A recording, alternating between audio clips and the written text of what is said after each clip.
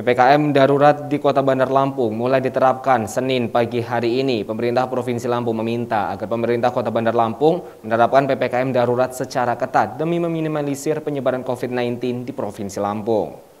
Mulai hari Senin ini, pemberlakuan pembatasan kegiatan masyarakat atau PPKM darurat diterapkan di Kota Bandar Lampung. Pemerintah Provinsi Lampung meminta kepada Wali Kota Bandar Lampung, Eva Duyana, untuk memperketat PPKM darurat tersebut.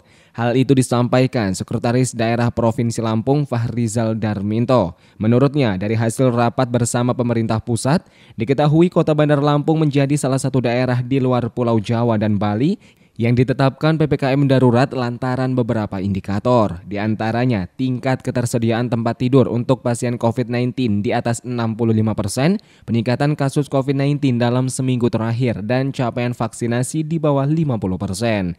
Oleh karena itu, Sekda meminta agar Pemkot Bandar Lampung memperhatikan indikator tersebut. Di samping itu, pemantauan penerapan protokol kesehatan di lapangan juga harus ditingkatkan. Bahwa berdasarkan evaluasi dari tim pusat, selama ini kan yang PPKM darurat itu hanya di Pulau Jawa. Tapi dengan memperhatikan data-data terakhir, itu ada empat indikator ya.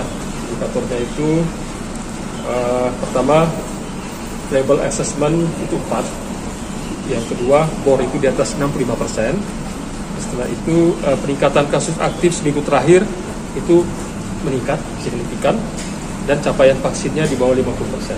Jadi empat itu.